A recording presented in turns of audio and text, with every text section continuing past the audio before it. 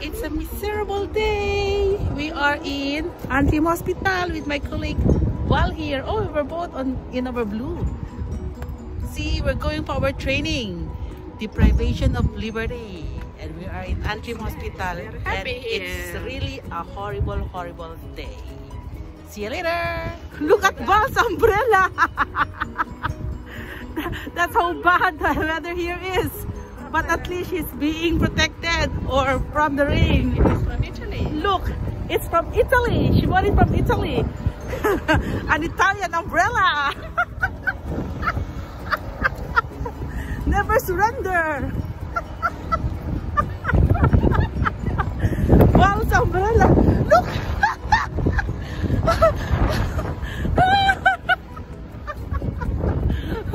she's still, she's still not giving up. They said, don't give up.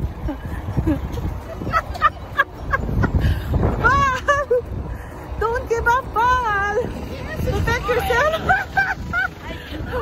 Protect yourself from the rain, Val! it's an Italian umbrella. So if I were you, I'm not going to buy an umbrella from Italy. Look at that. Look at that. Here we are.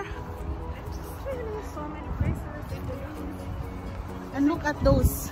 See, Italy. Pisa, Roma, what's that? Venezia, Firenze. Pisa and Roma. But don't buy them. Look at those. Hi. It survived. It's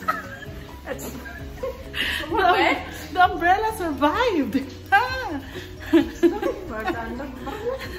the most important is she's not wet. See, so maybe you can buy the Italian umbrella. Here we are.